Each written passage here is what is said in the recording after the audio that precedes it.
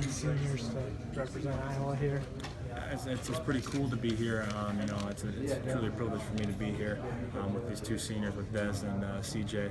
Um, and it's just, amazing. I, I feel grateful that uh, you know the coaches chose me to represent Iowa.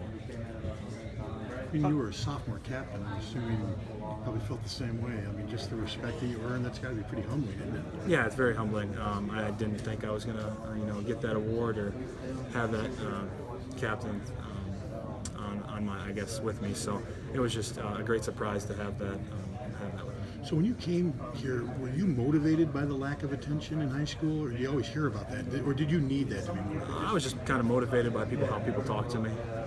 People talk to me in high school. They're like, "You're not gonna make it. You're not fast enough." Which When you I say wasn't. people, like other players on other teams? Yeah, yeah, just other people talking, um, and what I've heard from you know friends and talked to other people, uh, stuff like that. Just kind of, I actually listened to the noise for once, I guess, in high school, and, I, and which was which was probably beneficial to me because I like the negative noise. Um, and I like when people kind of don't talk to me and don't think, uh, you know, you're good enough or you're fast enough, and then you're then you can try to prove them wrong, and that's that's what I like trying to do is trying to prove people wrong, um, and prove that you're just a little bit better than I think. Curious, has anyone come back to you and said, "Hey, I was wrong about you three, four years ago"? Uh, there has been some uh, some people that have talked to me and told me that before, and now they've come back to me. Um, but there's just just a couple.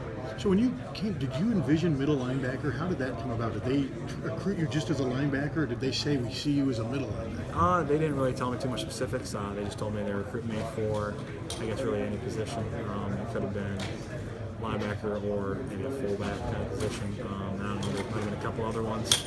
Uh, but really, I was just, you know, coming here with an open mind, um, ready to do anything they wanted me to do, um, and just to, you know, give my 100%, give all my effort to them.